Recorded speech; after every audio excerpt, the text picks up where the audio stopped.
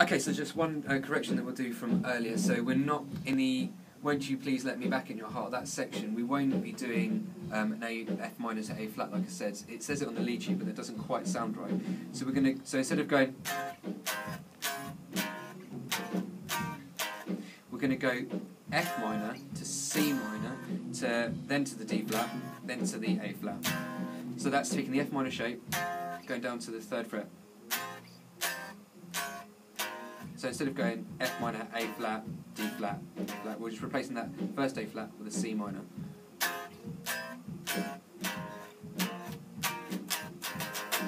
So just to do that one again, F minor, C minor, D flat, A flat, B flat minor seventh, going to the E flat, back down to the A flat. Okay. So let's uh, let's just put that into context, just so we're we're cool.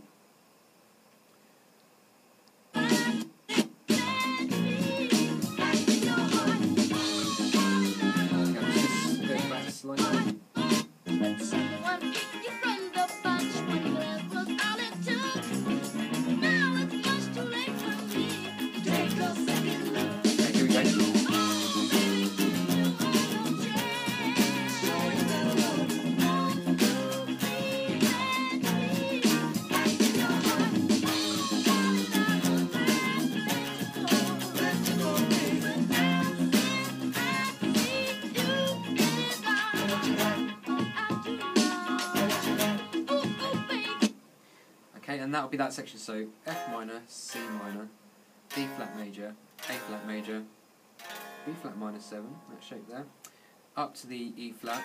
Or if you want to do it properly, we've also got the E flat seven. So we could go B flat minor seven, E flat seven, which is called dominant seventh, which looks like that.